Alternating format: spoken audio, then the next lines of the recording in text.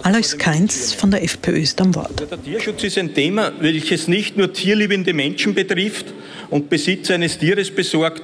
Nein, vielmehr sollte es uns alle zum Nachdenken anregen, denn immerhin zählen tierische Produkte zur Hauptmahlzeit der Menschheit. Österreich nimmt in den Tierschutz EU-weit eine Vorreiterrolle ein und wir sollten uns damit nicht zufriedenstellen. Aus dem Tierschutzbericht 2019 geht hervor, dass es 2017 und 2018 zahlreiche Neuerungen gegeben hat. Zum Beispiel wurde ein Verbot erlassen, Hunde und Katzen in Zoofachhandlungen zu halten und es wurde auch eine Verordnung betreffend der Sonderhaltung von Tieren in Tierheimen, Tierpensionen und Gnadenhöfen erlassen.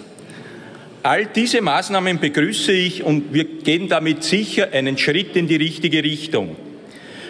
Dennoch haben wir einen, einen enormen Verbesserungsbedarf im Bereich der Tiertransporte.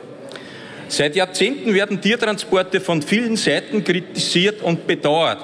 Aber passiert ist wirklich nicht viel.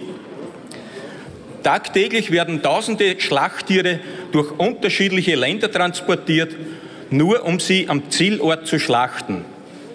Es ist absolut erschreckend, dass es aus wirtschaftlicher Sicht günstiger ist, die Tiere lebend zu transportieren als geschlachtet.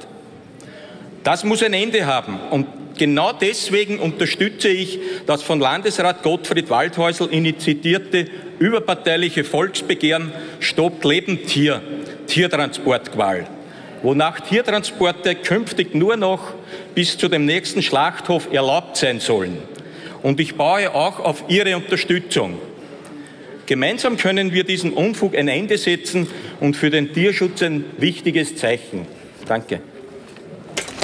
Ein Ende von Lebendtiertransporten weiter als bis zum nächsten Schlachthof fordert Alois Keins von der FPÖ. Martina Dies